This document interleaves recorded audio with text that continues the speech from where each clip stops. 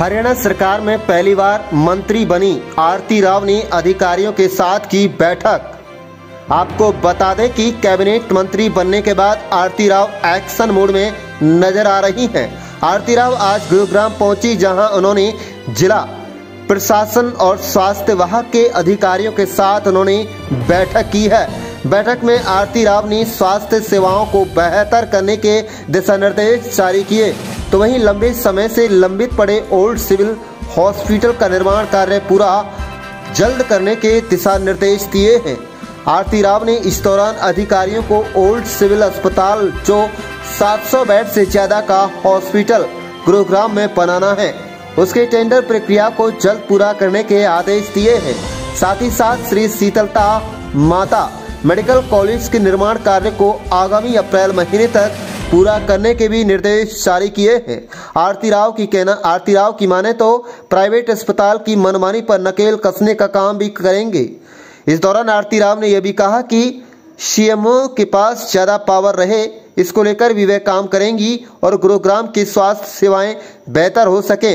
उसके लिए गुरुग्राम में पीजीआई हॉस्पिटल बनाया जा सके उस पर विचार किया जाएगा। वही आरती राव ने इस बैठक के दौरान ओल्ड सिविल हॉस्पिटल का निरीक्षण किया। जी चर्चा हुई है आज के दिन। एक तो सिविल हॉस्पिटल है जो गुड़गांव में बन रहा है। आ, उसके टेंडर जारी होने हैं। उन्होंने कहा है कि जल्द से जल्द टेंडर आप करें और फिर ख़त्म करें काम ताकि आगे जाके हम बिल्डिंग शुरू करें। साथ साथ शीतला माता मंदिर मेडिकल कॉलेज भी बनने जा रहा है उसके बारे में भी हमने चर्चा की उन्होंने कहा अप्रैल तक काम हो जाएगा। तो हम चाहते हैं कि जितनी जल्द से जल्द लोगों को इसकी आवश्यकता आवश्यकता है आज के दिन। तो आ, मैं चाहती हूँ कि जो भी काम पेंडिंग रह रहे हैं हमारी तरफ़ से जीएमडीए की तरफ़ से या कहीं और से भी वो हम जल्द से जल्द निपटाएँ ताकि ये अस्पताल जल्द से जल्द लोगों के काम क्या काम पेंडिंग है अभी तक?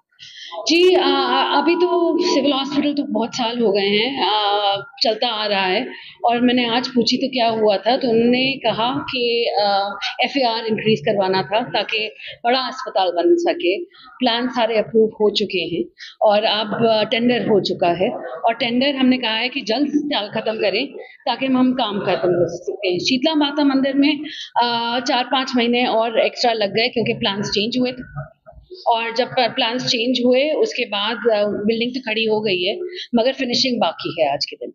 और फिनिशिंग बोल रहे हैं कि अप्रैल तक ख़त्म हो जाएगी। तो मैंने भी बोला है कि मेरे को एक बारी आप ये ज़रा ज़रूर लिखत में दे दें कि अप्रैल तक ख़त्म हो जाएगी ताकि लोगों को जल्द से जल्द सहूलियत डेडलाइन भी गई है क्योंकि सबसे ज़्यादा जल्द इसी चीज़ जी वही उसी को पता करने के सबसे पहले हेल्थ मिनिस्टर बनने के बाद मैं आज के दिन इसी के लिए आई हूँ कि सिविल हॉस्पिटल जो 800 बेड प्लस का अस्पताल बनने जा रहा है, वो जल्द से जल्द उसका काम शुरू हो ताकि हम लोगों को सिविल हॉस्पिटल, एक अच्छा बड़ा और बहुत ही मॉडर्न सिविल हॉस्पिटल गुड़गांव और हमारे दक्षिण हरियाणा के क्षेत्र के लोगों को, के लिए खड़ा कर सके। हरियाणा की अगर बात करें स्वास्थ्य सेवाओं को बेहतर किया जाएगा आपके जी, आज के दिन I have to go to Chandigarh tomorrow and take charge to start with but मेरा जो आज के दिन सोचना है कि सबसे पहले तो मैं चाहूँगी कि पेशेंट्स की जो एक्सप्लोइटेशन होती रह रही है वो कम। और सी एम के पास इतनी पार नहीं है आज के दिन। मैं ज़्यादा पावर देना चाहूँगी चीफ मेडिकल ऑफिसर्स को, ताकि अगर कोई ऐसी कंप्लेंट्स आए, वो जाँच करे और जो अस्पताल पाए गए ओवर चार्जिंग के। और एक्सप्लोइटेशन के उन पे सख्त से सख्त कार्रवाई एम्स फ़र्स्ट ऑफ़ ऑल तो सेंट्रल सेंट्रल गवर्नमेंट का प्रोजेक्ट है।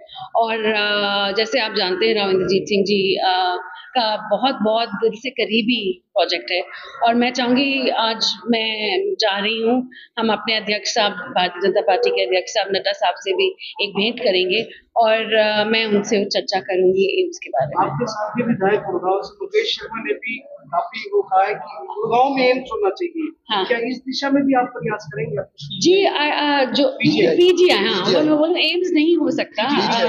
हाँ जी तो वाई नॉट वाई नॉट अगर पीजीआई हो सकता है और भाई मुकेश के साथ अगर हम साथ में एक, एक बढ़िया सा अस्पताल खोल सकते हैं तो क्यों?